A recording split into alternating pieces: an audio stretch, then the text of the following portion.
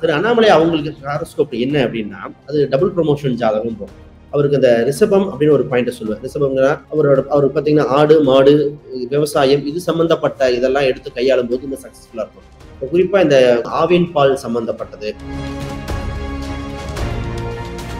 இந்திய அளவுல ஃபேமஸ் ஆகுற ஒரு கட்சி தலைவர்கள் இல்ல ஒரு அரசியல்வாதிகள்னா யார் பேர்லாம் ரெண்டு பேர் பாப்புலர்னா திரு உதயநிதி அவர்களும் திரு அண்ணாமலை அவங்க தான் ரொம்ப பாப்புலராக போறாங்க. திரு அண்ணாமலை அவருக்கு பார்த்தீங்கன்னா உலக அளவில் பாப்புலர்னு சொல்லுவோம் இதில் இன்னொரு சர்ப்ரைசிங் என்னன்னா நம்ம திரு உதயநிதியை பற்றி பேசிக்கிட்டு இருக்கோம். அவங்க ஒய்ஃபு அரசியலுக்கு வர போகிறாங்க அது ஒரு விஷயம் வேற இருக்குது. அது பின்னாடி இப்போ வெளிப்படாத மாதிரி இருக்கலாம். பிற்காலத்தில் அவங்க அரசியலும் உண்டு. ராகுல் காந்தி அவரும் பார்த்தீங்கன்னா விருச்சிக ராசி அம்சத்தில் தான் வராரு. அரசாங்கத்தை குறிக்கிறது சூரியன். சூரியன் அவன் சந்திரன் தான் மறைஞ்சிருக்கு. அவர் இதுல அந்த அளவுக்கு சக்சஸ் பண்ணக்கூடிய அம்சம் ஆவரேஜா இருக்கு.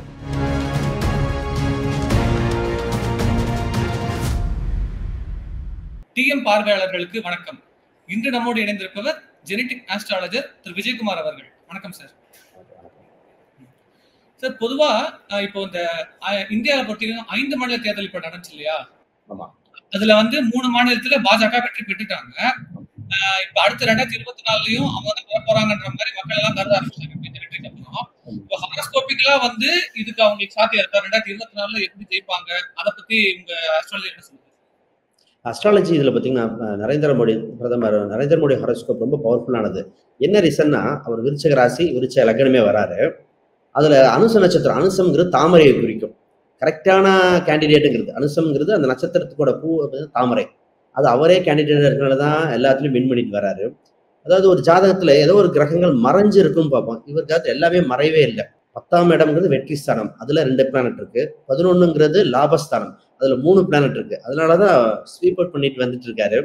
அதனால இது இன்னொரு விஷயம் என்னன்னா வர ஏப்ரலுக்கு மேல குரு பயிற்சி நடக்க போகுது. இந்த குரு பயிற்சியில இவர் சந்திரனுக்கும் இவர் பதினொன்றாம் அதிபதிக்கும் இவர் லக்னத்துக்கும் பார்க்க போறாரு.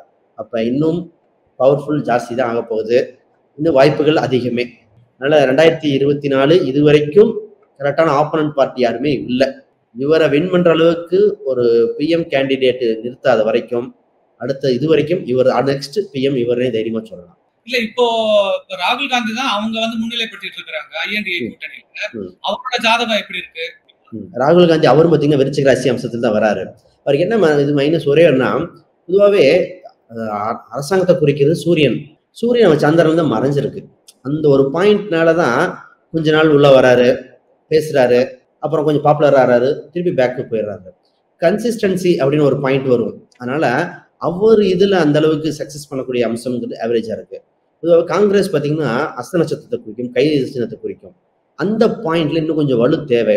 அதனால பிரதமர் நரேந்திர மோடி ஐயாவுக்கு ஆப்பனண்ட் ஆனாலும் ராகுல் காந்தி ஐயா இருக்க வாய்ப்பு இல்லை இன்னும் வேற ஒரு கேண்டிடேட் ஸ்ட்ராங்கான கேண்டிடேட் வந்தா வேணா பார்க்கலாம். இவர் ஜாதகம் ஆவரேஜான ஜாதகம் தான். சரி ராகுல் காந்தியை சொல்லியாச்சு ஐஎன்டிஏ கூட்டணி ஆரம்பிச்சிருக்காங்க இல்லையா? ஐஎன்டிஏ கூட்டணி ஐஎன்டிஏ அந்த கூட்டணி பார்த்தீங்கன்னா இப்போ வலுவா இருக்கு. அதான் உண்மை. இவங்களை கேள்வி கேட்கக்கூடிய இதுவும் அதில் இருக்கு. அவங்க உள்ள கட்சிகள் குழப்பங்கள் இருந்தாலும் வர ஏப்ரல் வரைக்கும் இன்னும் ஸ்ட்ராங்கா பில்ட் ஆகி ஒரு பயமுறுத்தக்கு தான் போறாங்க. பட் இந்த நெருக்கம் வர வர அவங்களோட வீக்னஸ் பாயிண்ட் கொஞ்சம் கொஞ்சமாக தெரிய ஆரம்பிக்கும். கரெக்டான பிஎம் கேண்டிடேட் அவங்க சூஸ் பண்ணலைன்னா அவங்க இந்த ஐஎன்டிஏ கூட்டணி போட்டதே வேஸ்ட்டே சொல்லலாம். ஆப்பனண்ட்டை யாரை சூஸ் பண்ண போகிறாங்க யாரை முன்னிலைப்படுத்துகிறாங்க இவர் ஜாதகத்தை விட வலுவாக இருக்கிற ஆள் யாரு அப்படின்னு ஒரு பாயிண்ட் இருக்கு. அந்த மாதிரி ஆட்கள் இன்னும் யாரும் சொல்லவே இல்லை. அதனால இது வரைக்குமே நெக்ஸ்ட் எலெக்ஷன்ல பிஜேபி வின்ன போ வின் பண்ண போகுதுன்னு உறுதியா சொல்லலாம். ஆப்பனண்ட்டை பொறுத்து கொஞ்சம் ஏற்றத்தாழ்வு இருக்கும். இப்போ கணக்குப்படி பார்த்தீங்கன்னா டூ ஃபிஃப்டி சீட்ஸ் கன்ஃபார்ம்னே சொல்லலாம். இன்னும் ஒரு டூ செவன்டி டூ பக்கம் வரும்னு நினைக்கிறேன். அந்த ரேஷியோ எப்படி குறைக்கிறாங்களா அதிகப்படுத்துறாங்களான்னு ஆப்பனண்ட் பார்ட்டியை பொறுத்து இருக்கு. அது இன்னும் ஸ்ட்ராங்கா ஆளை பொறுத்து தான் மாறும். இப்போ ரெண்டாயிரத்தி இருபத்தி நாலுக்கு சொல்லிட்டீங்க. வரலாற்றுலயே அந்த மாதிரி பதினஞ்சு வருஷம் எல்லாம் ஆட்- ஆட்சி செஞ்சதே கிடையாது. அடுத்து ரெண்டாயிரத்தி இருபத்தி ஒன்பது வரைக்கும் கூட இருக்கா இந்த அளவுக்கு? பாஜகவால வர முடியுமா? சஸ்டெயின் பண்ண முடியுமா? பாஜக பாத்தீங்கன்னா இதுல அவங்க இதுல ஒரு பிளஸ் ஒரு மைனஸ் பிளஸ் பாத்தீங்கன்னா பிஎம் அவங்கள நிக்க கேண்டிடேட் தான். இதுல ஒரு மைனஸ்னா உள்ள உள் கட்சி குழப்பங்கள் சிறிது வந்து போகும். அதை எப்படி அதை கையாளுறாங்க அதை பொறுத்து தான் நம்ம அடுத்த நாலாவது ஒரு டேர்ம் அப்படின்னு சொல்ல முடியும். உள்ள இருக்கிற குழப்பங்கள் அவங்களுக்குள்ள சின்ன சின்ன பிரிவுகள் ஏற்படுற மாதிரி வருது. அதை கட்டுப்படுத்த கண்டிப்பா தேவை. அதனால நெக்ஸ்ட் டைம் சொல்லிடலாம். அதுக்கு அடுத்த டைம் உள்ள இருக்கிற அந்த ப்ராப்ளம் கொஞ்சம் சால்வ் ஆகணும். அதுக்கு அடுத்து பிஎம் கேண்டிடேட் இவர் இருக்கிற வாய்ப்பு இல்லை. இந்த டைம் சொல்லிடலாம். அடுத்த டைம் இவர் இருக்கிற வாய்ப்பு இல்லை. அப்ப உள் உள்கட்சி குழப்பங்கள் அதை எப்படி கையாளுதோ அதை பொறுத்து தான் நம்ம சொல்ல வேண்டியிருக்கு. இப்போ நம்ம தேசத்தோட ஒற்றுமைன்னு பார்க்கும்போது எந்த கட்சி வந்து சிறந்ததா இருக்கும்? நாட்டுக்கே நீங்க பாப்பீங்க ஒரு சில நாட்டுக்கே அந்த மாதிரி பார்க்கும்போது எந்த கட்சி சிறந்ததா இருக்கும்? இப்ப நாடு நாட்டு கட்சிகள்னு பார்க்கும்போது பொதுவாகவே முன்னாடி செஞ்ச அவங்களும் இப்பயும் எல்லாருமே நாட்டுக்கு நல்லதா பண்ணிட்டு இருக்காங்க. ஆனா இப்ப இந்த இதுல என்ன பண்ணுவாங்க அணு ஆயுத உற்பத்தி. அது வெளியே சொல்லாம கூட இருக்கலாம். அதோட இன்னும் கொஞ்சம் அதிகப்படுத்த போறாங்க. அதை நேரடியா சொல்லாம இருக்கலாம். அணு ஆயுதம் போர்க்கருவிகள் இதெல்லாம் இன்னும் அதிகப்படுத்த போறாங்க அப்படின்றது. அப்ப அந்த போர் போர் திறன் அது சம்பந்தப்பட்டதுல இந்த இது கொஞ்சம் அதிகமாக அதிகமா கான்சன்ட்ரேட் பண்றது. அப்புறம் வெளிநாட்டோட ஒப்பந்தங்கள் இதெல்லாம் அதிகப்படுத்துறதுனால ஒரு இந்தியாவோட பாப்புலாரிட்டி கொஞ்சம் அதிகப்படுத்த போகுது அப்படின்னு தெரியுமா சொல்லலாம். இப்ப நீங்க கேட்ட அந்த பாயிண்ட்டுக்கு வலுவா இருக்கிறது இப்ப பிஜேபி தான் வந்துட்டு. இப்ப இந்திய அளவுல பார்த்தோம். இப்ப தமிழகத்துல இருந்து இந்திய அளவுல ஃபேமஸ் ஆகுற ஒரு கட்சி தலைவர்கள் இல்ல ஒரு அரசியல்வாதிகள்னா யார் பேர்லாம் அடிக்கும் இப்ப ஃபர்ஸ்ட் இந்தியா லெவல்ல பாப்புலர் ஆக போறது அப்படின்னு பாத்தீங்கன்னா ரெண்டு ஜாதகம் தான் சொல்ல போறோம். அது யங்ஸ்டரா சொல்ல போறோம். நம்ம ஸ்டாலின் ஐயா ஆல்ரெடி இருக்காரு அது விட்டுடலாம். அஹ் ரெண்டு பேர் பாப்புலர்னா திரு உதயநிதி அவர்களும் திரு அண்ணாமலை அவங்க தான் ரொம்ப பாப்புலராக போறாங்க. த்ரூ அவுட் இந்தியா லெவல்ல தெரிய போகுது அண்ணாமலை அவருக்கு பார்த்தீங்கன்னா உலக அளவில் பாப்புலர்னு சொல்லுவோம் உலக அளவில் அந்த கட்சியை வளர்க்கறதுக்காக பல நாடுகள் இப்போ இலங்கைக்கு போயிட்டு வந்திருக்கலாம் வெளிநாடு போயிருக்கலாம் பல நாடுகள் சென்று கட்சியை வளர்க்கறதுல அந்த பாயிண்ட் அவருக்கு இருக்கு. இப்போ இவங்க ரெண்டு பேரோட பாப்புலாரிட்டி அதிகமாக இருந்தது. முதல்ல திரு சீமானோட ஹாரோஸ்கோப் ரொம்ப இதாக இருந்தது. இப்போ பவர்ஃபுல்லா இருந்தது. கொஞ்சம் இப்போ ஒரு மாற்றத்துக்கு ஏவரேஜ் திரு விஜய் அவர்கள் ஆக்டர் விஜய் அவர்கள் இன்னும் அவர் இந்த எலெக்ஷன்ல அவர் நேரடியாக இன்வால்வ் ஆக வாய்ப்பும் கொஞ்சம் குறைவா இருக்கு. அதனால இப்ப நம்ம பேச போறது ரெண்டே ரெண்டு தான். திரு அண்ணாமலை அவர்களும் உதயநிதி அவங்க தான் இவங்க ரெண்டு தான் பாப்புலாரிட்டி வேர்ல்டு வைஸ் மட்டும் இல்ல இந்தியா லெவல்ல பெரிய லெவல்ல வர போறாங்க. இப்ப இப்ப இப்ப என்னன்னா இப்ப இருக்கிற நிலைமையில திராவிட கட்சிகள் ரொம்ப ஸ்ட்ராங்கா இருக்கு. அதுதான். அந்த இதுல பார்க்கும்போது இவங்க ஒரு ஓட்டு அதாவது வளர்ந்துட்டு வராங்க. பிஜேபிங்கிறது வளர்ந்துட்டு வராங்க. ஸ்டாலின் ஐயா அவங்களுக்கு அடுத்து உதயநிதி ஜாதகம் பார்த்தீங்கன்னா அது இன்னும் சிம்பிளா சொல்லணும்னா அவர் சிஎம் கேண்டிடேட் ஜாதகம். கன்ஃபார்மாக சிஎம் ஆயிடுவார் அது என்ன ரீசன்னா கிரக மாளிகா யோகம்னு ஒன்று சொல்லுவோம். அவர் ரிஷபத்திலிருந்து இருந்து அப்படியே ஒவ்வொரு கிரகம் கட்டத்திலையும் ஒவ்வொரு கிரகம் அணிவருத்திட்டு வந்துட்டே இருக்கும். அது பேர் கிரக மாளிகா யோகம். திரு நேரு அவர்களுக்கு இருந்தது முன்னாள் பிரதமர். அந்த அம்சத்தில் இவருக்கு வந்திருக்குது. இதில் இன்னொரு சர்ப்ரைசிங் என்னன்னா நம்ம திரு உதயநிதி பற்றி பேசிக்கிட்டு இருக்கோம். அவங்க ஒய்ஃபு அரசியலுக்கு வர போகிறாங்க அது ஒரு விஷயம் வேற இருக்குது. அது பின்னாடி இப்ப வெளிப்படாத மாதிரி இருக்கலாம். பிற்காலத்துல அவங்க அரசியலும் உண்டு. சரி அது- ஒரு ஷாக்கிங் நியூஸா இருக்கும் வரும்பொழுது அதை பார்ப்போம். திரு அண்ணாமலை அவங்களுக்கு ஹாரோஸ்கோப் என்ன அப்படின்னா அது டபுள் ப்ரொமோஷன் ஜாதகம் போகும். எங்க போனாலும் குயிக்கா போறது. அவர் அந்த ஐபிஎஸ்ஸாக இருந்ததுலயும் குயிக்கா ஒரு மேல பதவிக்கு வந்ததா இருக்கலாம். இங்கே இங்க வந்து கட்சி ஆரம்பிச்சு கொஞ்ச நாள்லயே அந்த கட்சிக்கு சிஎம் கேண்டிடேட் அறிவிச்சதா இருக்கலாம். அது டபுள் ப்ரொமோஷன் ஜாதகம் குயிக்கா குயிக்கா மூவ் ஆகும். பத்துல ஒரு பாவியாவது இருக்கணும். அவர் நாலு கிரகம் இருக்கு. அப்ப இன்னொன்னு தமிழ்நாட்டு அரசியல இது பண்ணணும்னு வச்சுக்கோங்களேன். கடகராசி நல்லா கவனிங்க. கடகராசி அப்படிங்கிறது ஒரு பாயிண்ட் ரொம்ப முக்கியம். சிஎன் அண்ணா இவங்க பார்க்கலாம். காமராஜர் ஐயா கடகலக்கணம். கலைஞர் அவங்க கடகலக்கணம். இதே அம்மா சிஎம் முன்னாடி சிஎம் பார்த்தீங்கன்னா சிம்மல ல- வருவாங்க. கடகத்துல சனி வரும். அப்ப அந்த கடகம் சம்பந்தப்பட்டதுல ஏதோ ஒரு கிரகமோ ஏதோ ஒன்று வரணும். முக்கியமா சந்திரனுக்கும் சூரியன் நேரும் சமசப்தமா இருந்தால் இந்த மூணு பதினொன்னா இருந்தாதான் சிஎம் கேண்டிடேட் ஆக முடியும். இப்போ இவரோட சூரியனுக்கு சந்திரன் நேர் சமசப்தமாக இருக்கு. இபிஎஸ் ஐயாக்கும் அப்படி இருக்கு. அண்ணாமலைக்கு அவர் பார்த்தீங்கன்னா மூணு பதினொன்று லாபஸ்தானத்தில் இருக்கு. அதனால அவருக்கும் வாய்ப்பு இருக்குது. அதனால அவரும் குயிக்காக இன்னும் ஸ்பீடாக போறார். அவருக்கு ஒன்னே ஒன்று மட்டும் நம்ம அவர் அவரை நான் என்ன சொல்லுவேன்னா தமிழ்நாட்டின் டொனால்ட் ட்ரம்ப்பும் என்ன ரீசன் அவர் கட்சியில் இருக்கிற சின்ன சின்ன ப்ராப்ளம் சால்வ் பண்ணி சிஎம் கேண்டிடேட் வந்து அங்கே வின் பண்ணணும் அந்த மாதிரி. ஃபர்ஸ்ட் கட்சியில ஜெயிப்பாரு கட்சிக்குள்ள ஜெயிப்பாரு. அடுத்தது பொலிட்டிக்கல் லெவல்ல ஜெயிக்க போறாரு. அந்த மாதிரி. இப்போ இந்த ஜாதகம் இதெல்லாம் சொல்றீங்க இல்லையா? இது வந்து இப்ப ரெண்டாயிரத்தி இருபத்தி ஆறுக்கு சொல்றீங்களா? உதயநிதி அண்ணாமலை இருக்காங்க. ரெண்டாயிரத்தி இருபத்தி ஆறுலயே யாரோடது வந்து பவரா இருக்கும்? ரெண்டாயிரத்தி இருபது இப்ப என்ன ரீசன்னா இப்ப நடக்கிறதுல இவருக்கு அண்ணாமலை அவருக்கு அஷ்டம சனி போயிட்டு இருக்கு கடகராசி அஷ்டம சனி போயிட்டு இருக்கு அதனால அவர் குயிக்கட் மூவ்மெண்ட் எல்லாம் கொஞ்சம் கம்மியா இருக்கு.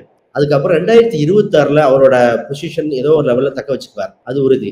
ஆனால் உதயநிதி அவ- அவங்க ஜாதகம் அந்த இடத்துல பவர்ஃபுல்லாக இருக்கிறனால அந்த டைம்ல இவர் ஜாதகம் வளர்ச்சி அடைஞ்சிருக்கும். ஒரு அவர் ஒரு கணிசமாக ஒரு ஓட் பேங்கிங்ல லெவல் லெவலில் போயிருப்பாரு. ஆட்சியை பிடிக்கக்கூடிய அம்சம் இந்த டைம் இல்லை.